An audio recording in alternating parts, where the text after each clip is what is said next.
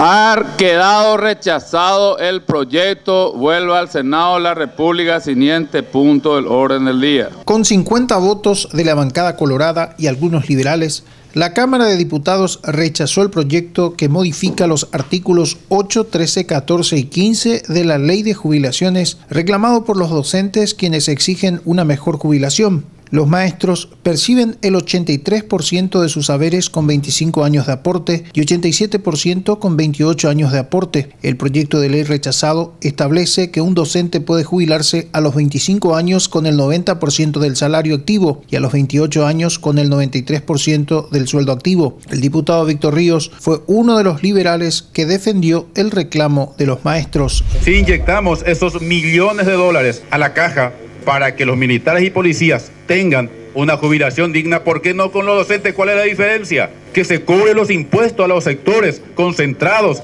con mayores niveles de rentabilidad o esto es tan difícil. Por su parte, el diputado colorado José María Ibáñez justificó la decisión de su bancada que votó por el rechazo. Estamos tomando esta, esta, esta decisión política con absoluta responsabilidad de cara a las futuras generaciones porque hoy vamos a parchar una situación eh, con una modificación del sistema jubilatorio, pero vamos a trasladar el problema para dentro de 5 o 10 años, donde va a ser absolutamente inviable sostener la caja fiscal. Algunos liberales, Patria Querida, Encuentro Nacional y la izquierda votaron a favor del reclamo de los docentes. Con imágenes de Carlos Jiménez informó Claudio Genes para ABC Color.